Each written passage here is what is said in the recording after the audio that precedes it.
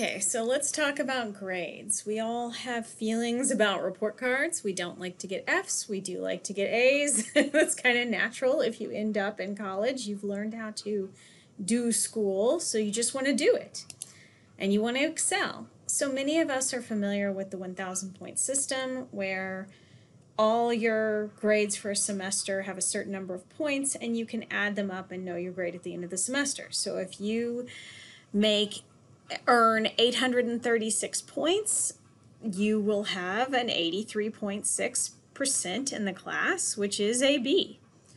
Now, some of you will get confused with a weighted grade system, and that's what we have.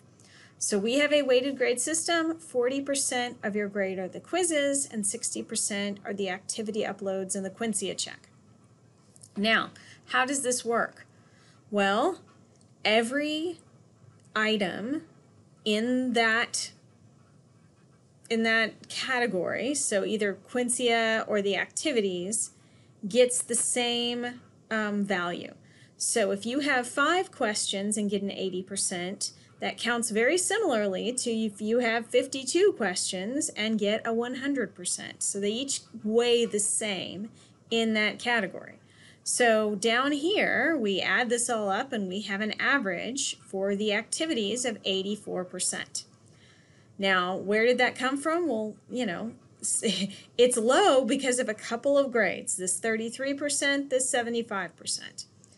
Over here, we have five quizzes, and this person has excelled at the quizzes. Look, 98%.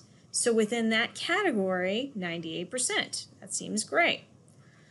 Now, we remember that the activities are 60%, the quizzes are 40%. So the area where this person has the higher grade, um, higher average, is actually the smaller percentage of the grades. So when you total it up, you take that 84 times 0.6, so we're basically treating it as if it's out of 100, and the 98 times 0.4, and we add, we have an 89.6. Now that would round in our system to a, um, a 90%, which would be a low A. So it would be an A minus.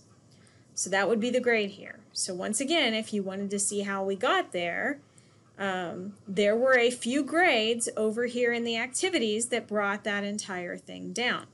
So this helps you have a better understanding of how grades will be calculated in the class. Not every category is the same. So you'll have activities and you'll have quizzes. So do the math. um, that's what you're going to need to do. Do the math to determine how your grade is going to work and to better understand everything and plan ahead. Have a great semester. I want you to be aware of this before we go. Bye.